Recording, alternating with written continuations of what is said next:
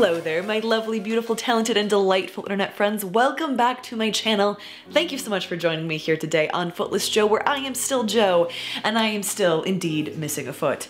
This video is going to be structured a little bit different than some of my other videos. This is a video message, a video letter directly to one individual, but I want you, my lovely audience, to know that this is a video for absolutely everyone, and I think the concepts and ideas and challenges and struggles that I talk about in this are actually things that many of us have felt, especially over the past 10 months. But with that being said, the rest of this video is to the one, the only, the amazing Molly Burke. The very last thing before we dive in, a huge thank you to all of my patrons over on Patreon for sponsoring this video, for making these videos possible. I cannot say thank you enough if you'd like to be a part of our Patreon community or check out what that could mean for you. Link is on screen and also down below. But without further ado, let's actually dive in. I think I've put a lot of pressure on myself this year to be people's escape, to be people's positive distraction. We're 10 and a half months in, and I can't keep pretending I'm okay. Hi there, Molly. My name is Jo, and it is delightful to virtually meet you. Before we dive into the meat of this video, I just want to say I feel like I'm channeling my inner Molly today because I had my hair dyed a really cute color yesterday. Dark purple with just a hint of some light blue at the ends. And you always have your hair really cute colors, so thank you for the hair inspiration. So a couple days ago, your video titled Being Honest About What's Happening in My Life popped up on my feed. I clicked it and I listened to the whole thing. Oh, I just spilled hot tea on myself again. Goodness. I'm not good at keeping liquid in cups. So much of what you said in this video I can deeply relate to, and I just wanted to take a moment to let you know how your words were received. I didn't want to burden you with my struggles. I know that this was a vulnerable video for you to make. I know it's something that you had anxiety and concern about posting because as you talked about, you haven't really wanted to open up about the fact that life has been really difficult for you, for you personally, for the past 10 months. And in your mind, other people have it so much worse. You know, you, you still have your job, you have a family that cares about you. The list goes on of things that you are and in quotes should be grateful for. But nevertheless, you've had a really, really difficult go of things over the past year. And you talked about how you haven't wanted to talk about that, how you've wanted to be people's, you know, light and hope and inspiration during a really difficult time. And so you've tried to be really positive on camera, which I think is a very worthy goal.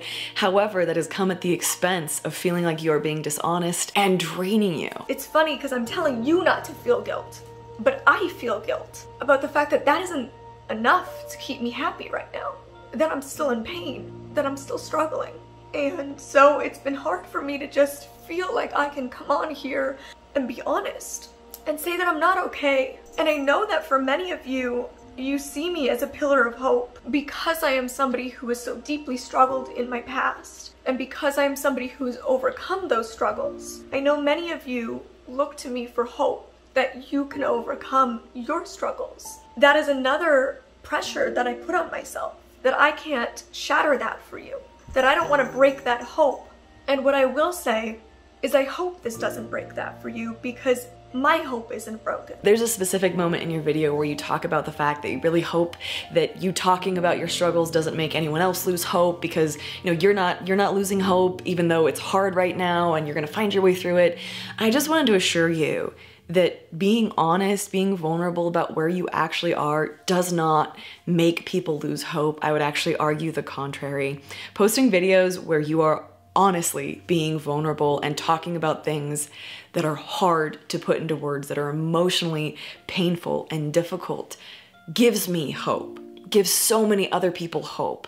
Because I think it's a really understandable and very promoted mindset to put forth this this face or this video or this post of positivity when we are all struggling through this pandemic. But the problem is when people are doing that we all end up feeling disconnected because we're all having a really damn hard time and to see someone say I am really not okay like yes I have things that are good in my life yes I am absolutely aware of the privileges that I have but I am really not okay.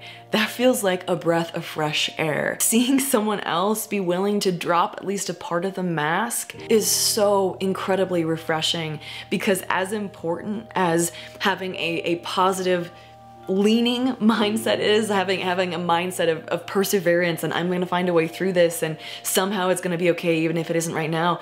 Those are such important things but in the culture we live in there's this positive always mindset promoted and that's just not realistic. That's not human. The reality is that you are not the only person who is crying every day. You are not the only person who doesn't feel like their pain is valid. And that's really the reason that I wanted to make this video because you talked more than once in your video about the fact that you would never degrade someone else's struggles just because they aren't yours. The fact that one thing that pains me is when people come up to me after they've seen me give a public speech after they've watched my videos and they see me in public and they come up to me and they say things like, you know, I, I was so depressed over my divorce and now I feel guilty because I haven't gone through nearly as much as you have. And I'm like, stop right there. Your pain is valid. Like you talk about the fact that after giving speeches, people will approach you and be like, you know, I, I, I shouldn't have been having such a hard time with my divorce because gosh, your life has been so much harder.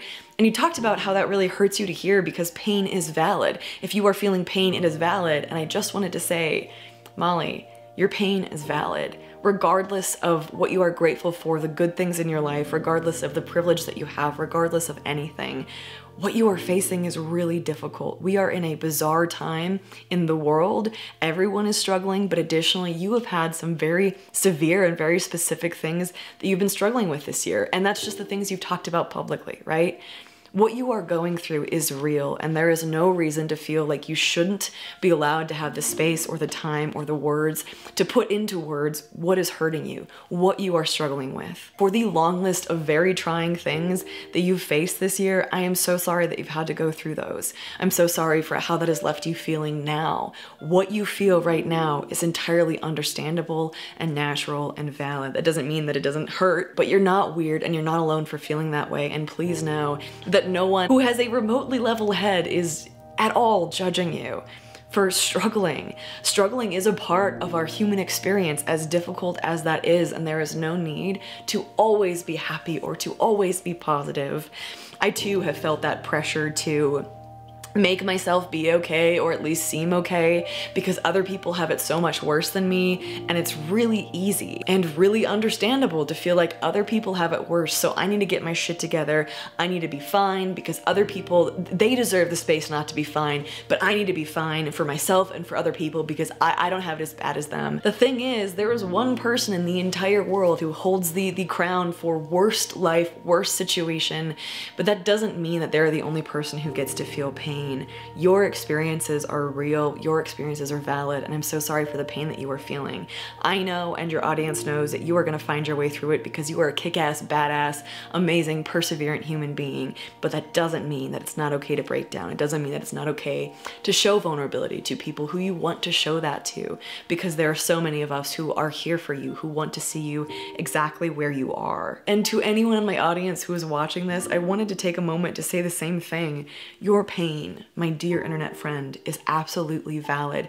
Other people may indeed have it worse, and I'm gonna go ahead and put worse in quotes as well because everything is subjective. How we experience difficult things is influenced by our previous experiences, by the support that we have. What matters is that your pain and your struggle deserve to be heard, they deserve to be supported. During this pandemic, especially those of us who tend to be more empathetic or more people pleasers, I think have sort of naturally fit into the role of always trying to support or always trying to bring other people up or always trying to be positive.